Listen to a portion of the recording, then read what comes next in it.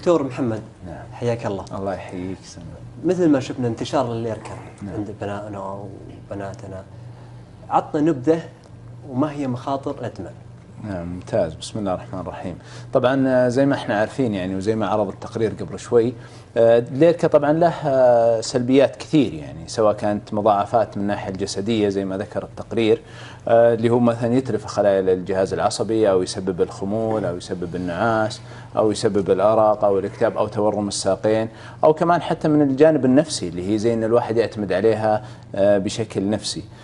طبعا آه، إحنا الآن منظمة الصحة العالمية أنا أتفق مع الأستاذ الدكتور عادل ما عاد صارت تسمى مخدرات صارت تسمى drugs abuse سوء استخدام العقاقير العقاقير. بمعنى آخر أي عقار سواء كان آه، يعني آه، من المخدرات أو من غيرها استخدمناه بطريقة خاطئة فهذا يعتبر طبعا من آه، المخدرات.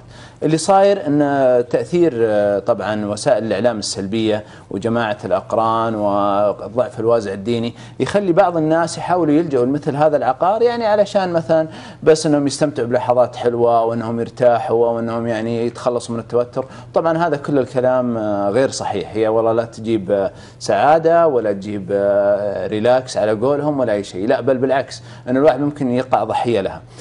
ودي أضيف على اللي ذكره الأستاذ الدكتور عادل. في بعض الأشخاص شخصيتهم مغامرة. يعني عندهم نزعة للتجريب يمكن الدكتور عادل يعرف. ود يقول لك أنا مستعد أجرب هذا الشيء وأنا ودي أجرب ودي يعني يسوي بعض ال- السلوكيات الخاطئة فيجربوا هذا العقار ويقعوا فيه. وكمان في ظاهرة نفسية عند بعض المراهقين اسمها أنا غير. يقول لك أنا ممكن أتعاطى هذا العقار بس ما أدمن عليه. ما. أنا أقدر أسرع بس ما أصدم. أنا أقدر أفحط بس ما أصدم. أنا أقدر أتعاطى هذه الأشياء بس ما ما يصير لي فيها شيء. فهذه الظواهر النفسية طبعا هي اللي تخلي بعض ال- الأفراد يلجؤون لمثل هذا العقار. العقارات هذه في حدود يعني علمي أنا هي كانت طبعا في السوق آه، يعني آه، متاحة. وللأسف طبعا آه، لابد أن هذه العقار انه ما يتاح لا في السوق ولا في السوق السوداء ولا في أي شيء انه ما تصرف إلا وفق بسكريبشن وصفة طبية ومو من أي طبيب. يعني من الطبيب اللي متخصص بالأعصاب وفقا لصورة وفقا لتشريح عصبي تشريح عضلي. بناء عليه يتم آه، صرف مثل هذه العلاجات. أما أن الواحد يروح مثلا يشتريها ولا يدبرها من البلاك ماركت أو السوق السوداء بسبب يعني أفكار خاطئة عند بعض المراهقين والمراهقات وبعض الشباب والبنات يقول والله هذه تأخذها تشجعك على الدراسة أو تخفض القلق اللي صاحب الامتحانات. طبعا هذا كله كلام غير صحيح. لا هي ما تخفض القلق ولا شيء بل بالعكس آه، هو هو ببساطة هو علاج عصبي. يستخدمونه طبعا أطباء الأعصاب والأطباء على أساس يعني آه، تسكين الأعصاب آه، ال- ال- المتضررة يعني مثلا زي مرضى السكري وغيرهم. فيستخدمون هذه العلاجات والأطباء يستخدمونها من أجل الجانب الفسيولوجي الجهاز العصبي.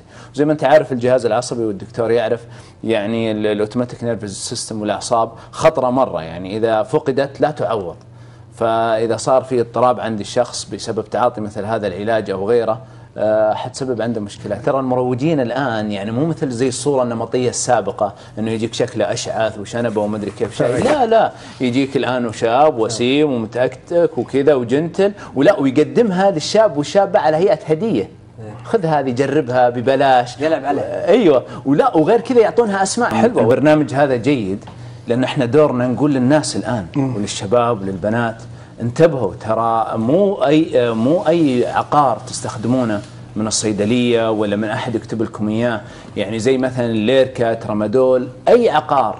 نفسي أو فسيولوجي أو غيره يتم استخدامه بشكل غير جيد وغير مناسب يدخل تحت ط- طائرة المخدرات، يعني الآن في شباب يعتقدون وشابات وصغار إنه المخدرات هي الهيروين والكوكايين والمورفين اللي هي المعروفة يعني اللي أصبحت بالسينما.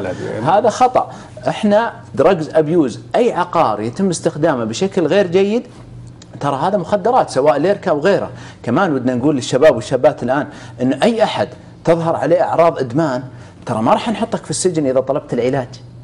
ترى بعضهم يا دكتور وانت عارف بعضهم يعاني من إدمان يعاني من مشكلات ها؟ من إدمان نفسي إدمان فسيولوجي بس ما يبغى يروح يطلب الاستشارة أو العلاج أو المساعدة يفكر إنه إذا راح يطلبها علشان يتعالج أنه حيسجنوه لا بالعكس أنت تعالج نفسك من الآن قبل ما تطيح الفاس في الرأس قبل ما تصير مروج وقبل ما تصير بياع أو حق مخدرات أو تستخدم المخدرات وتوقع ال- ال- الاذى بالاخرين وبعدين توقع الاذى بنفسك قبل ما حتى الجهاز العصبي حتى يعني عنده يعطب. الخلايا العصبية زي ما ذكر الأستاذ الدكتور عادل في بداية الحلقة أن الخلايا العصبية إذا فقدت لا تعوض في المخ والجهاز العصبي اللي هو ال automatic nervous system. فهذه تقطع الخلايا العصبية. أنا أحب أقول أي علاج يستخدمونه الشباب والشابات بطريقة خاطئة وبدون وصفة طبية نعم. ترى هذا ممكن يدخل تحت ضمن المخدرات. هذا عرفوها واحد. اثنين تعاني من إدمان. نفسي أو فسيولوجي على أي عقار على أي مخدرات على أي نوع من أنواع ال drugs abuse المخدرات هذه أطلب المساعدة والاستشارة قبل ما تفقد صحتك وجسمك. وترى ما راح نحط الأصداف بيديك إذا طلبت الاستشارة. حتى يتوجه. الإنسان للاسر آم، طبعا آه، إحنا نقدر حتى نشكل علاقات لأبنائنا وبناتنا. يعني مثلا لو أنا أعرف أن زميلي أبنائه وبناته مثلا محترمين ممكن لما أنا أروح له أو أزوره آخذ معي أبنائي وبناتي علشان مثلا يصير في علاقة ويش- تختار ونشكل الأصدقاء. صداقات المراهق والمراهقين. غير كذا الرقابة مو إن إحنا نراقبهم يعني أول بأول. أنا أتفق مع الدكتور عادل. إحنا نصاحبهم لأبنائنا وبناتنا. حتى إحنا ممكن مثلا أنا إذا أبغى أراقبه إيش قاعد يسوي في مواقع التواصل الاجتماعي؟ ما أجي أسحب من الآيباد أقول له إيش إيش قاعد تسوي ممكن عدة. أجي أجلس جنبه أقول له إيش إيش اللعبة اللي قاعد تلعب فيها؟ إيش الموقع اللي قاعد تسوي فيه. ممكن توريني ممكن ألعب معاك ممكن. ومن هالطريقة أبث له الرسائل الإيجابية بحيث إنه يصير عنده مناعة. لما ينزل على الشارع ويروح للوسط وتواجهه زي المخدرات زي واحد جاء أعطاه كبسولة واحد جاء مدح له مدري إيش يصير عنده مناعة. لما يواجهها يعني بالعامية كذا يفرمل يوقف يقول هذا خطأ. كثير من الآباء والأمهات في دكتور ويمكن المشاهدين يسمعونا. يجيبوا أولاد. وتقول أنا أبغى ابني مثلا ما يكذب أبغى ابني ما يفحط أبغى ابني ما يتعاطى مخدرات ما يدخل. طيب اقضي وقت معه. إي. اجلس معه. في تربية. اغرس فيه القيم الدينية ولذلك سميت الكويسة تربية. علشان يعني إيش هي التربية؟ تحميه. إيه، لازم. تكون هذه الأدوية كلها restricted يعني ما تصرف إلا بوصف الطبيب وتحت رقابة. لأنه فعلا ال- البعض يستخدمها بشكل سلبي.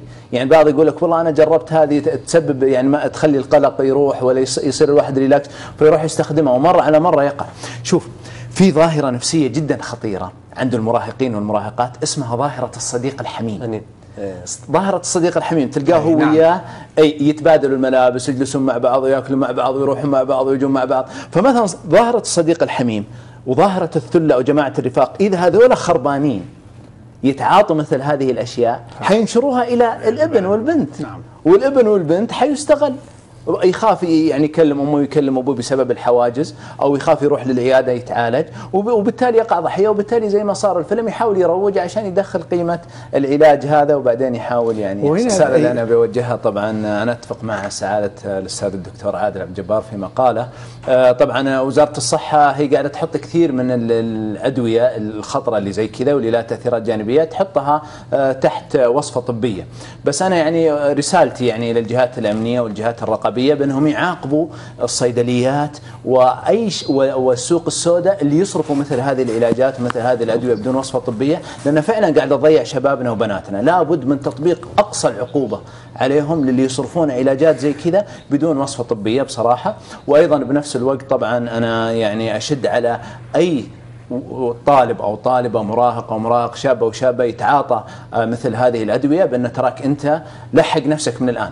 لا تأكل أي علاجات بدون وصفة طبية. هذا رقم واحد. اثنين إذا شعرت بأي إدمان نفسي أو فسيولوجي لأي عقار توجه على طول لطبيب علشان تتعالج منه. وتراك إذا توجهت الآن أنت شريت صحتك ونفسك وجسمك وما وقعت ضحيه لهذه المخدرات وما وشريت نفسك من السجن والعقوبة.